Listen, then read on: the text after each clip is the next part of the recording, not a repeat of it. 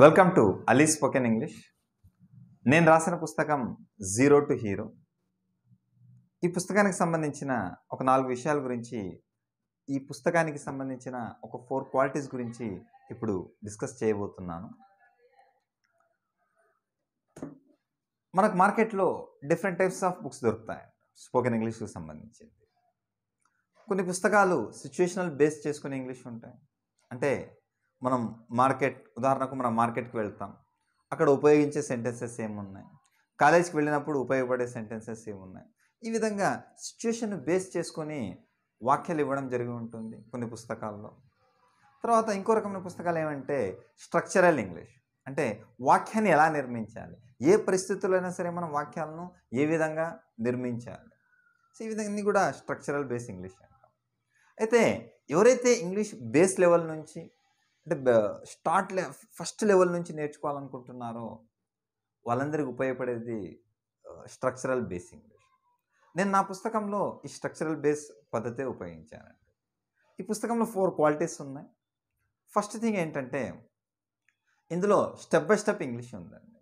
అంటే starting two words తర్వాత three words తర్వాత ఫోర్ వర్డ్స్ ఈ విధంగా వాక్యాలను ఇంప్రూవ్ చేసుకుంటూ వచ్చాను.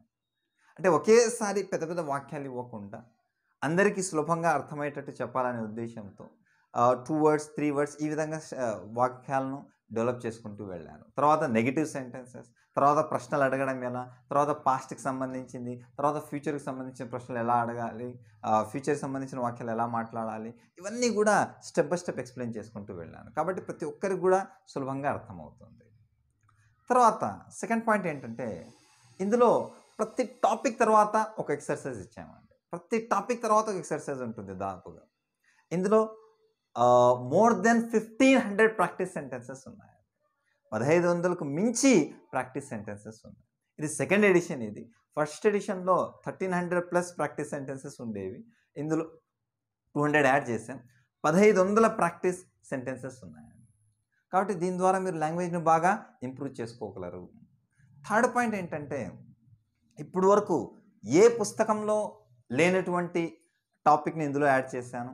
అదే five hundred confidence booster questions confidence booster questions ఈ కాన్ఫిడెన్స్ బూస్టర్ ఏంటంటే మనలో కాన్ఫిడెన్స్ డెవలప్ చేస్తుందండి. అదేంటంటే అందులో ఒక ఫైవ్ హండ్రెడ్ క్వశ్చన్స్ ఉన్నాయి. అది కూడా టాపిక్ వైజ్గా ఉన్నాయి. ఒకేసారి ఫైవ్ హండ్రెడ్ ఇవ్వలేదు. ఫస్ట్ సింపుల్ ప్రజెంట్ ఉన్నప్పుడు దానికి సంబంధించినవి. ఈ విధంగా ఫైవ్ హండ్రెడ్ క్వశ్చన్స్ని యాడ్ చేశాను. ఈ క్వశ్చన్స్ ఏంటంటే మీరు మీ ఫ్రెండ్ లేదా ఎవరైతే మీకు ఇంగ్లీష్ నేర్చుకోవడానికి సహాయం చేస్తారో వాళ్ళకి ఆ ప్రశ్నలు అడగమని చెప్పాలి. మీరు వాళ్ళు ఇంగ్లీష్లోనే అడుగుతారు మీరు ఇంగ్లీష్లోనే సమాధానం ఇవ్వాలి. ఈ విధంగా ప్రాక్టీస్ చేయడం వల్ల మీలో కాన్ఫిడెన్స్ డెవలప్ అవుతుంది. ఇలాంటి టాపిక్ మనం ప్రస్తుతం ఏ పుస్తకంలో దొరకవండి. ఫస్ట్ టైం మేమే వాటిని ఇంట్రడ్యూస్ చేసాం తర్వాత ఫోర్త్ పాయింట్ ఏంటంటే ఇందులో సిచ్యువేషన్ బేస్ చేసుకొని అక్కడక్కడ పిక్చర్స్ యాడ్ చేసామండి పిక్చర్స్ ద్వారా కూడా మీరు ఇంగ్లీష్ బాగా ఇంప్రూవ్ చేసుకోగలరు. సో ఇవి four points. First one step by step English ఉండడం. తర్వాత second point practice sentences. Third point confidence booster questions. Fourth pictures.